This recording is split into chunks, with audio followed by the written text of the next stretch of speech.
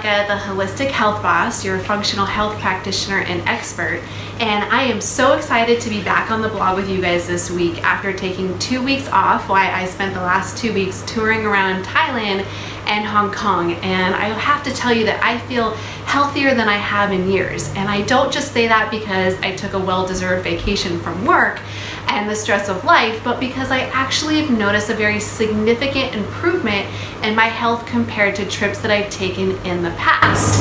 So this time last year, I actually spent three weeks traveling all over Europe. I went to Croatia, Italy, Italy, Switzerland, and the Netherlands.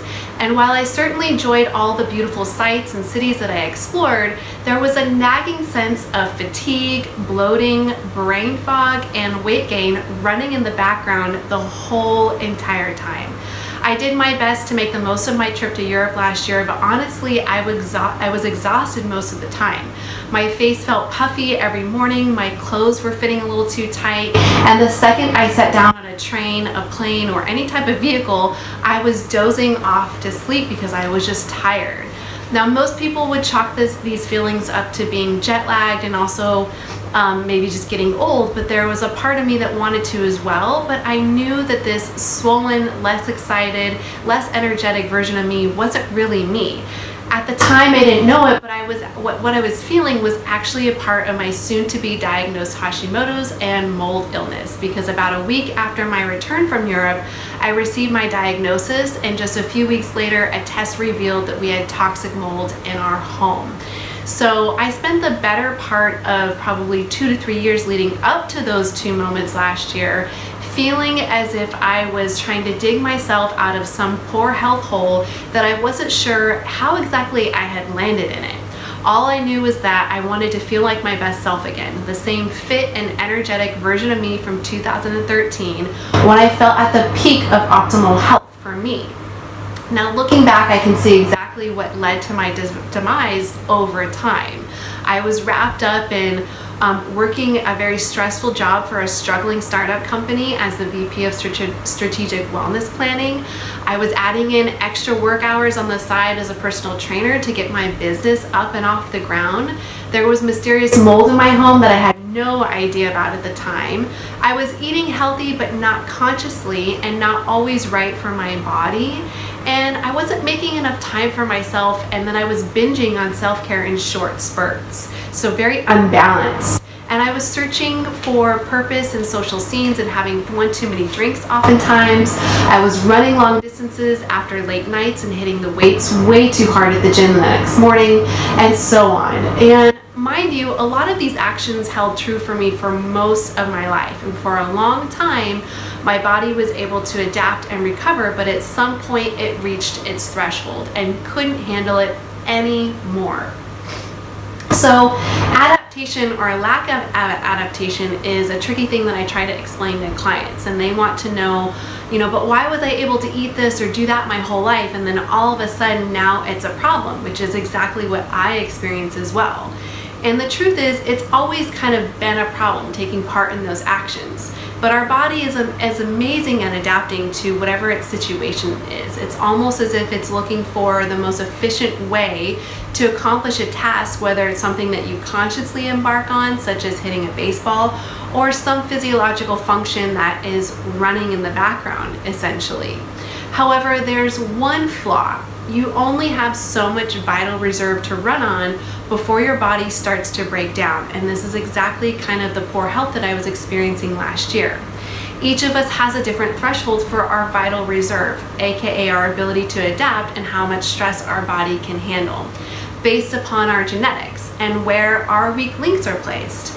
You know, think of the old theory or the saying, survival of the fittest. It points out that what we know evolutionary is that the strongest survive and the weakest typically don't.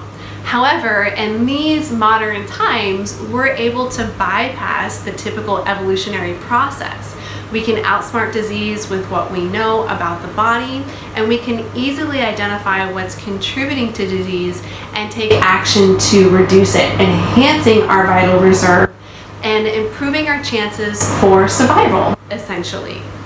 So this is exactly what I started doing even more intensely a year ago to achieve the way that I feel today. I started coaching up my vital reserve more because the accumulation of stress on my body intensified when I started working from home full time in a toxic mold infested place. My body's re reserve and ability to adapt to the stress of my lifestyle with the added extra stress of the environmental toxins from mold drastically decreased and I hit my threshold as a result and an autoimmune process basically flourished.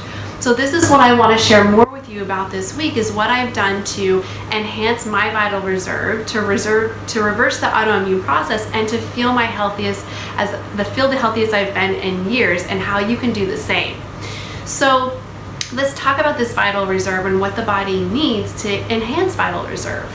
Because now my energy even surprises me. At the end of the day, I'm astonished at how much I have accomplished and how much energy I still have left. Sometimes I even underestimate my energy ability as if I have PTSD from being so fatigued in the past. And um, it's quite surprising. And this recent trip to Thailand really brought to light how much healthier I really truly am from all the work I've been doing. Had zero jet lag even after only sleeping for four hours on a 30 plus hour travel day. I didn't need or even want to take a nap after long days of hiking, snorkeling, walking, and sightseeing. I could have a cocktail without it kicking my ass the next day or destroying my sleep. And I woke up feeling rested every single morning with the sunrise and ready to take on the day. I was able to think clearly, stay focused, and maintain a joyful mood. And I felt at home in my body, slim and trim the whole time, which was so different than what I experienced in Europe last year. I'm so grateful for the way I feel my body today, and it makes every ounce of effort I have put into healing myself this past year more than worth it to experience life like this. When I received my Hashimoto's diagnosis and found the toxic mold in my home last fall, I made a promise to myself to not let these situations get the better of me. And I hunkered down, I got business I got to business taking even better care of myself to coach up my body's vital reserve and started the slow road to a full recovery, which is where I am here today. What I did was actually really simple. It didn't take any, I didn't take any magic pills, try any elaborate or expensive therapies, and I didn't rely on prescription medications to mask my symptoms to make me appear to feel better.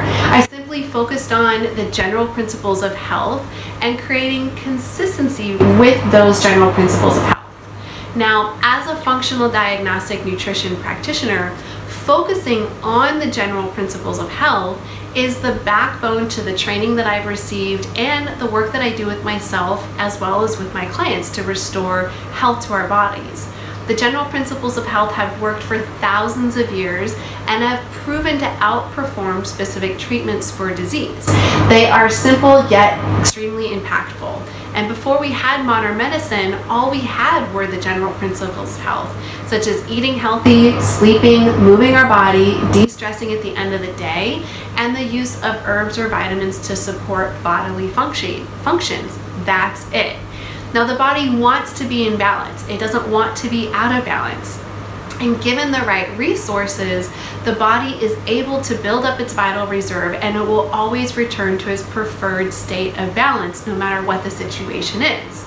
Now the body thrives on consistency. This should be no surprise to us, but it is.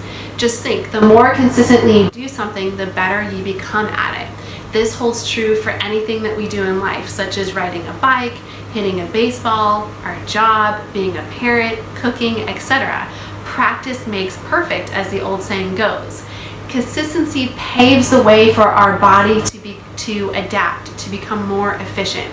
If we are consistently immersed in activities that don't support our health, our body will adapt, utilize its valuable resources until there are no more, and eventually give way to sickness.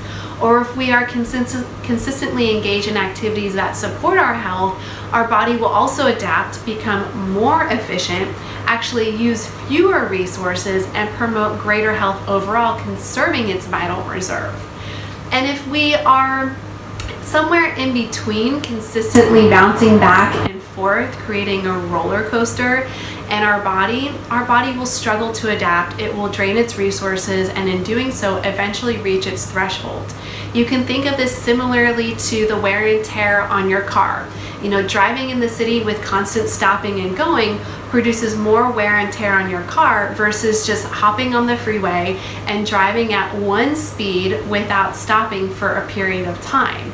In fact, most modern cars even kick into a fuel efficient state um, when you drive at a constant speed for a period of time, just kind of like our body does. It adapts and becomes more efficient. Consistency has carried me back to a place of, of feeling like myself again, and it's extremely important to, for health. In order to restore my vital reserve and return my body back to balance, I focused on creating consistency this past year in the general principles of health. I more consistently went to bed within a few hours after sunset at least six nights a week. I made self-care part of my daily routine instead of binging on the weekends or once a month. I created consistency around an engaged meditation practice that promoted positive thoughts and healing. I set healthy boundaries around work and anything else that drained my energy and created consistency around that. I created consistency around eating 100% grain, dairy, soy, sugar, and alcohol free for over three months, and now I still do that 90% of the time. I worked on being more present and making empowered choices that always had me in mind and took my supplements religiously to nourish my body and heal it. And then I tested tested again to monitor my progress and make adjustments to my healing plan when needed and created consistency with that as well. Now all of my efforts have paid off in order to feel as healthy and more like myself than I have in a long time on this trip. By all means, I have not been perfect in my commitment to restore balance to my body and to create consistency, but I have stared temptation in the face and had lengthy conversations in my head about giving in and giving up. And at times I've even felt alone on this journey. And in some of the choices I've had to make for me but consistency was still key. Each time I felt challenged on my journey, I reconnected with what really mattered, my health, and feeling like myself again. And it was, and it always helped me get back on track to creating that consistency that my body was going to strive for and would thrive on. So if you feel stuck when it comes to your health or struggle with getting back to feeling like yourself, consider how consistent or not that you have been with some of those general principles of health. You know, do you find yourself doing healthy things all week, but then binging on the weekends and unhealthy activities? Or maybe you're super healthy at home, but let loose too much when you're traveling um, for work or for pleasure. I certainly used to do that. Or maybe you run a tight and, tight and healthy ship for extended periods of time that just leave you feeling deprived and you eventually throw in the towel and give in and binge on something else. Healthy is a way of being, it's not just a way of doing. So you can do all the healthy things in the world, but if you don't embrace it as a lifestyle and create consistency, you'll constantly be swimming upstream. And when you do embrace healthy as a lifestyle, it, and create that consistency, it will significantly get easier. You'll find yourself riding with the current, with the wind in your sails. So if you're ready to, you know, break the roller coaster ride, end this cycle, and to create consistency to promote your health, then I want to invite you to schedule a chat with me. Um, you can schedule a complimentary ideal health and weight discovery session by clicking on the link below or going back to the email where you found this um, video and blog. And I would love to help you create consistency so that you can feel the healthiest that you've ever felt in the same way that I have too.